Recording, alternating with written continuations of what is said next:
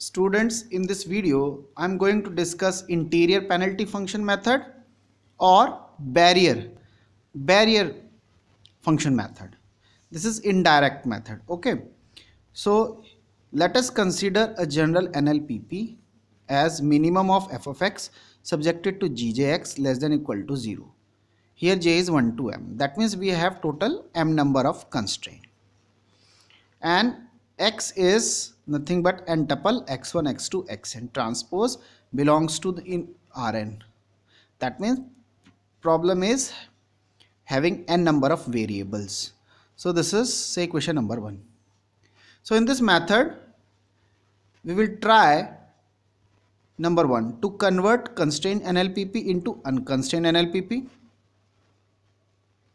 second for minimization problem this is for minimization problem.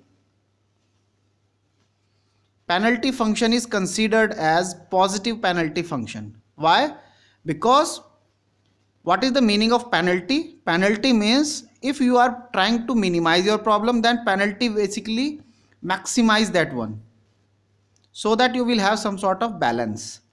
Similarly, if problem is of maximization then your penalty should be a negative because this negative basically uh, resist you to maximize your problem. Because this is the actual meaning of penalty. जो चीज़ आप minimise करना चाह रहे हो तो penalty आपको minimise करने से रोकेगी। So that's why penalty should be a positive term positive if maximization problem then your negative penalty is required this is the difference okay so if for minimization, penalty function is considered as positive penalty function because we are trying to minimize objective function and penalty term. So in penalty term, there are two components. One is penalty parameter just like Cj and penalty function Bjx or barrier function. Just like in uh, the exterior penalty function, again in the exterior one, again we, we have already have Cj and Pj. In place of Pj here we are using Bj. In exterior penalty function we have terms Cj and Pj. So Cj is as it is penalty function however we have replaced Pj by Bj and known as barrier function. Rather than penalty function we are using the term barrier function. Okay. Both are equivalent. Now the third point is for maximization problem we are using negative of the penalty function because we have to maximize the objective function. Okay. Now after introducing penalty term in 1 here 1 can be written as unconstrained optimization problem minimization of f of x plus summation of cj bjx. In short f of x plus cbx where c is a vector bx is also a vector okay and this bj is basically the barrier function or penalty function. And x is basically nothing but x belongs to the point in the domain s union rn. S is the domain of the problem and rn is the euclidean space. So s is basically the feasible space generated by these constraints. So that's why s is nothing but gjx is less than equal to 0 so this is the feasible space generated by all the constraints. Now what is c and bj this is our problem. So now in interior interior penalty function methods this is the property of bx first property is that bx is continuous. Bx is greater than equals to 0 and bx tends to infinite as x approaches to the boundary of s. If you remember if you remember we have used already introduced this in previous video. What is px? px is for interior penalty function. px is this. px is minus 1 upon gx. This is the penalty function. Here i am talking about interior penalty. So this is the interior penalty. This we have already discussed in previous video. So this is introducing here. So in place of p we are using b in place of p we are using b. So bx is basically minus 1 by gx for example and c is tending to 0 as bx tending to infinite. So you will see here bx is greater than equals to 0 bx is tending to infinite this infinite so infinite as x approaches to the boundary of s. Okay?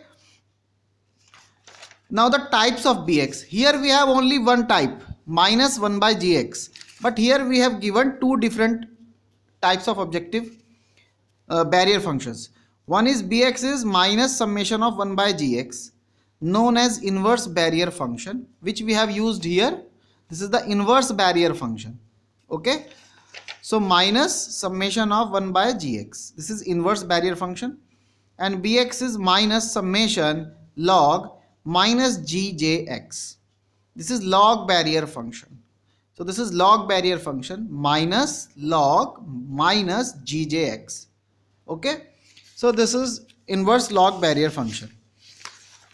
Now here let ck be a non-negative monotonically decreasing sequence.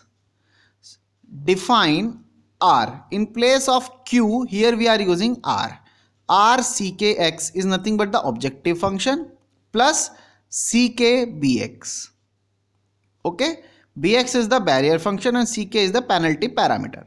Assume that the problem minimum of r ckx has solution xk for each k. As ck decreases because if you remember here ck is tending to 0 so decreases slowly. So ck decreases it generates a sequence of minimum which all lie in the feasible region. Okay? So here ck tends to 0 and this bx this bx tends to infinite just like here bx tends to infinite and c tends to 0 so ck tends to 0 and bx tends to infinite as x approaches to the optimum solution. So we have to remember this thing. Okay.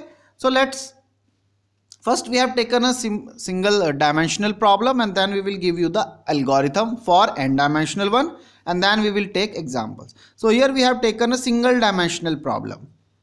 So minimum 1 minus x subjected to x is less than equal to 1 okay? So what is your g? G can be written as x minus 1 is less than equal to 0 this is your constraint which can be written as x minus 1 less than equal to 0 so this is your gx gx is x minus 1 so what is r? R of ckx is this. Fx fx is 1 minus x. So fx plus ckx okay? But what is f of x? F of x is 1 minus x. Then cx cx and bx for bx we have two options. Either we can use this function inverse barrier function or log barrier function. Here in this problem if you will see here we are using log barrier function. Log barrier function we have used. So we have used this log minus log minus gjx and since we have only one objective function constraint sorry so that's why minus ck log and this is negative of this so when you multiply by minus here, so we get 1 minus x. So 1 minus x. Okay. So we have used negative barrier function. That means this bx is minus log minus gx. We have used this function. Negate log barrier function. We have used. Okay. Now for minimum of RCX, obviously gradient of R will be 0 and since this is a single dimensional problem so just differentiate this with respect to x. So just differentiate this with respect to x so we get from here minus and that's log. So minus ck and derivative of log 1 minus x will be 1 upon 1 minus x and then derivative of 1 minus x is minus. So minus 1 minus minus becomes plus. So minus 1 plus ck upon 1 minus x is equals to 0 okay and this is 0 so from here you can find out x which is nothing but x is equal to 1 minus ck. Okay. Now here since ck tends to 0 so when this tends to 0 x will be 1. But anyhow we have started with the value c1 is equal to say 0.9995 then x star is 0.0005 then immediately just reduce your c now C2 is taken say 0.1. Then we have X star is 0.9. Then C3 is 0.01 further reduced. So X star is 0.09. C4 is 0.001. So X star is 0.995 and so on. So you will see that when ck tends to 0 this x star tends to 1 or you can immediately from here just ck tends to 0 we get x star is equals to 1 okay? From here you can directly rather either you can use this type of table or you just directly ck tends to 0 you will get x star is equal to 1 so both will be same. Okay? No, no problem. Now if your dimension is improved then what will be the algorithm? So for that we have written this algorithm. So step number one. Start with an initial feasible point x1 okay? Such that gjx1 this is basically the capital x1 this should be capital x1 this is a vector quantity. Okay? This is the vector quantity that's why. So start with an initial feasible point x1 such that gjx1 is less than 0 satisfies the constraint. Okay? This type of constraint. For all j. Now for some cj for some cj 1 greater than 0 for all j formulate the unconstrained problem. Okay? And find minimum of x2 x2 using this is x2 using x1 using this x1 as given optimum.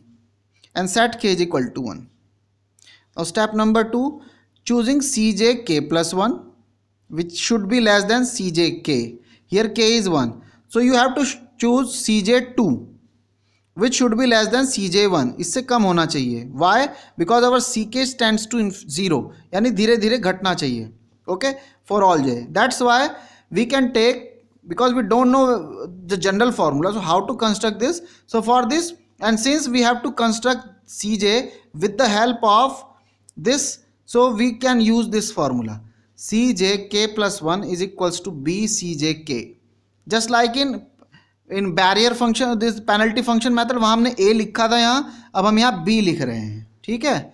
तो c j k plus one is b c j k where b is basically less than one अगर वहाँ आप देखेंगे a is greater than one था okay यहाँ हमने less than one लिखा है।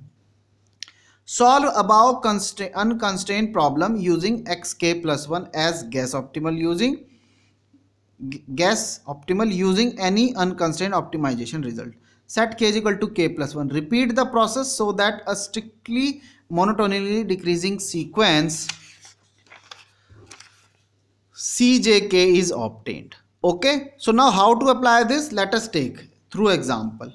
So here is the problem minimum of x1 minus 2x2 subjected to x2 square minus x1 minus 1 is less than equals to 0 so what is rckx this is basically the objective function. This x1 minus 2x2 and plus ck what is r r is basically RCKX. this is equals to objective function plus ck and this bx okay. So here we have used the ck. So f of x is basically this x1 minus 2x2 this ck is ck and bx is used as inverse barrier function. So minus 1 upon gx. So here we have used bx as bx we have used minus 1 upon gx. Okay? So minus 1 upon gx is this x2 square minus x1 minus 1 so x2 square minus x minus 1 and this minus is here. Okay? So this is your r. So now gradient of r should be 0 so now partially differentiate this function r with respect to x1 so we get 1 minus ck upon x2 square minus x1 minus 1 whole square. Again partially differentiate this r with respect to x2 so we get minus 2 plus 2x2 ck upon x2 square minus x1 minus 1 whole square and this should be 0 0 means 0 0 so this quantity should be 0 so we get this equation. And this quantity should be 0 so we get this equation. So now this is here ck upon this quantity. Ck upon this. So you can replace this quantity by 1 so we get minus 2 plus 2 x2 is 1 so from here x2 is 1 replace this x2 is equals to 1 herein so we get ck upon 1 minus x1 minus x2 uh, 1 minus 1 whole square is equal to 1 so 1 is cancelled out with 1 so we get ck is equal to x1 whole square. So from here x1 is square root of ck. And hence x star is x1 and x2 this is x1 this is x2 x2 is 1 okay? And now we know that ck tending to 0 so x star is 0 1 so this is the optimum solution okay? So no note point. In this barrier function what is r? R ck is this function. So uh, this is nothing but f of x is bk bk is nothing but summation of gjx okay barrier function.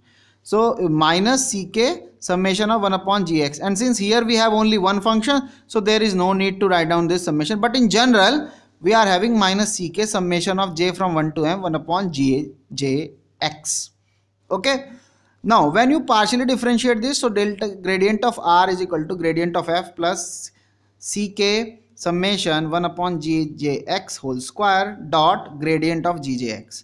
This quantity is basically behaves like Lagrange multiplier. So this is like the gradient. This is the uh, Lagrange multiplier lambda star.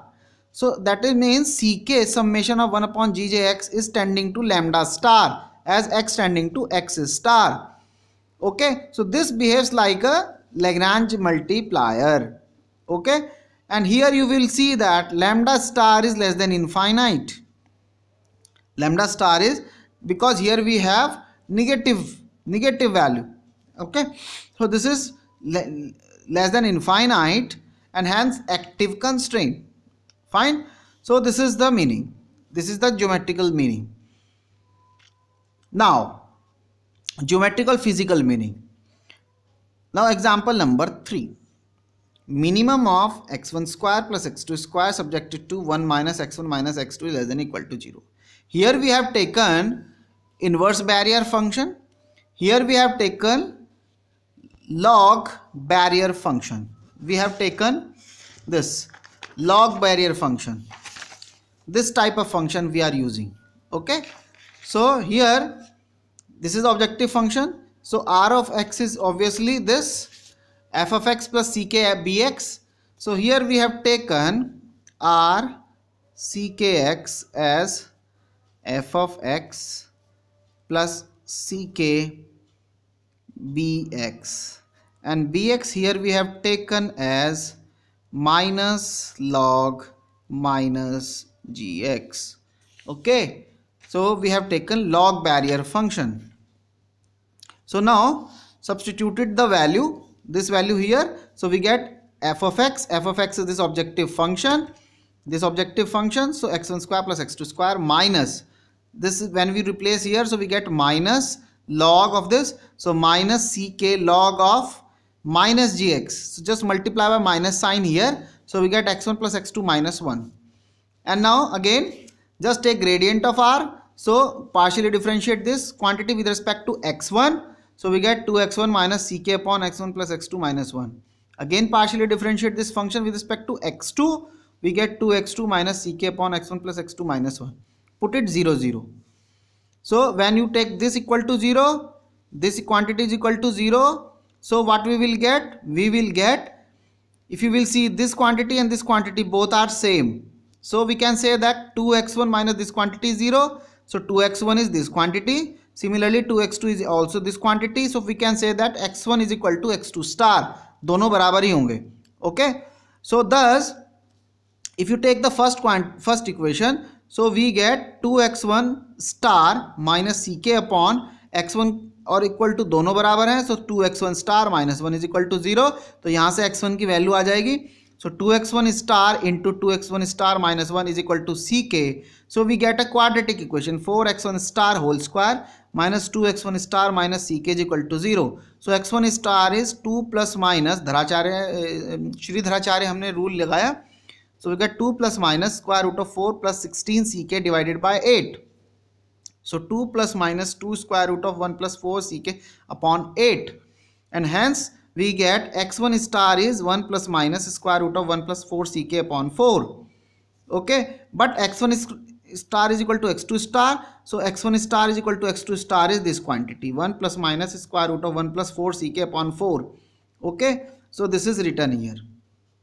But since we have feasible solution we need a feasible solution that's why and this quantity is this constraint should be satisfied so x1 plus x2 की जो value है वो greater than 1 होनी चाहिए and this is only possible when you are taking the positive sign here so that's why for feasible solution x1 star is equal to x2 star is 1 plus square root of 1 plus 4 ck upon 4 fine so now when ck tends to 0 this quantity tends to 0 so what we will get x1 star is 1 by 2 because one plus one by four हो जाएगा so two by four आएगा so one by two x star is one by two hence optimum solution is one by two one by two so this is the optimum solution of this problem so here we have taken inverse barrier function here we have taken log barrier function तो दोनों तरह के function ले लिए गए हैं okay so I think this is the solution of your problem now here we have taken another problem.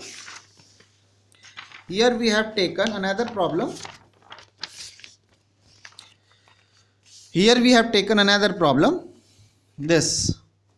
Example number 4 minimum of x1 minus 2x2 subjected to 1 plus x1 minus x2 whole square is greater than equal to 0 and x2 is greater than equal to 0 okay? So we have two constraints here so which can be written as rewritten as x2 square minus x1 minus 1 is less than equal to 0. This similarly this can be written as minus x2 is less than equal to 0. तो इसमें भी minus से multiply कराया और इसमें भी minus से multiply कराया so that we have less than sign okay so now are function r is given by r ckx is objective function this objective function plus ck and then your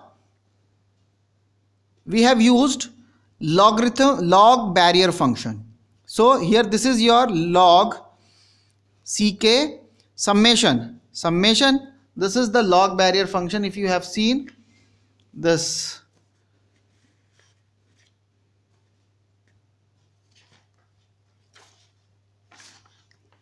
so here no problem. So here this is the log first function log of negative of first function this constraint.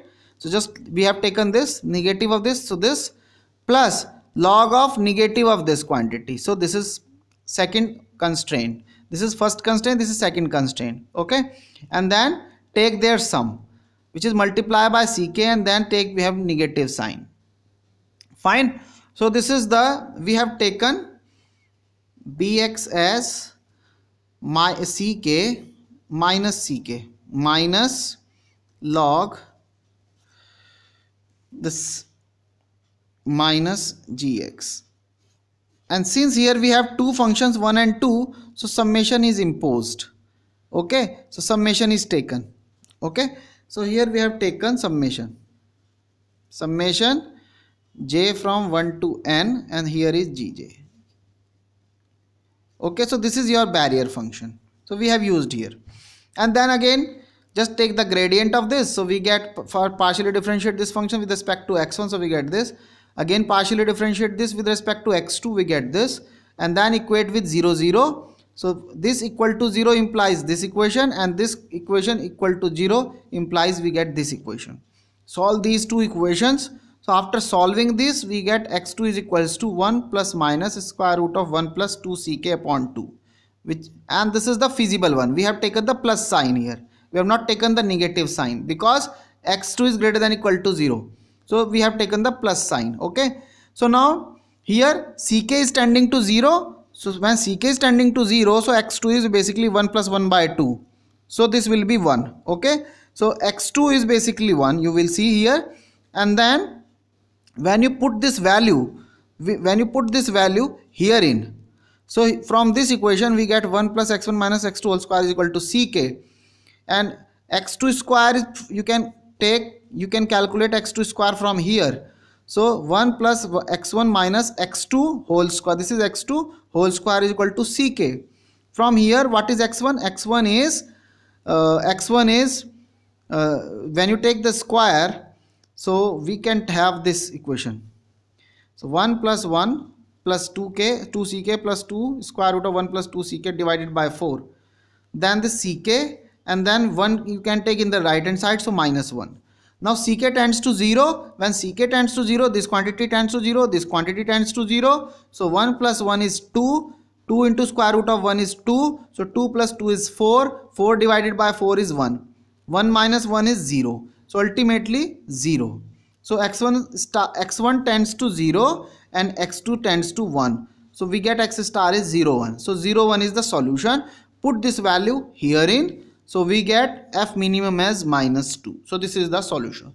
So this is your uh, uh, barrier function or penalty function method. So this is the uh, numerical optimization. Okay, so we in this uh, numerical optimization we have discussed various method for to solve constrained and unconstrained optimization problems. Okay, so this is your syllabus for the uh, NLPP. Okay. Okay, thank you.